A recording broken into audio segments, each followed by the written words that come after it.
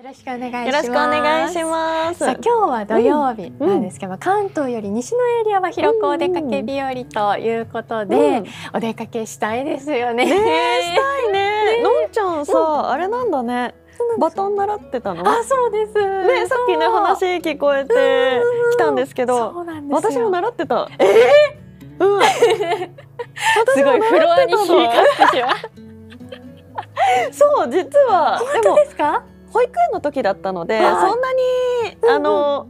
小学校上がる前だったからこそ、そんなにバトン回したって感じではなくて ただただねちょっとくるくるしてたり、なんかあのポンポン持ったりみたいなちょっとそんなぐらいだったんだけど、え地域のクラブチームってことですか？地域のそうだね地域って感じかな。んか他の県内とかいろんなところにこうなんか教室があってその中の一つに一つのところに行ってた。そう行ったので、そう知らなかそうったです。いいよねその話をうん聞いて、すごいあらと思ってこれでバトン部結成ですね。で も待って保育園の時だからそんなあれだよえでもなんとなく覚えてますか？なんとなく覚えているかなっていう感じで、なんか、まあ、思い出としては本当にあの幼稚園保育園の時だったからこそ、お姉さんたちについてって、わかります。その時代に、うん。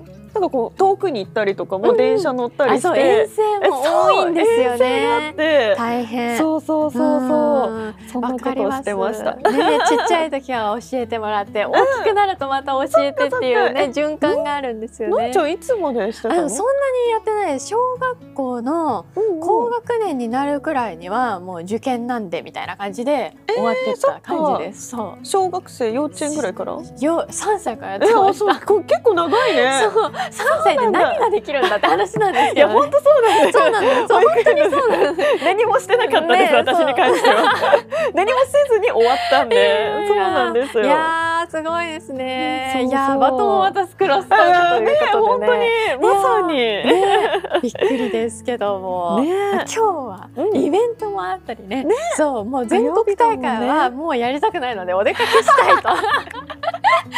そうか大会出てるぐらいだとね。ちょっと思い出す苦い思い出もたくさんありつつ。そっかそっか。でも今日はね、お出かけ日和なのでお出かけクイズを3社以降はやるんですよね。そう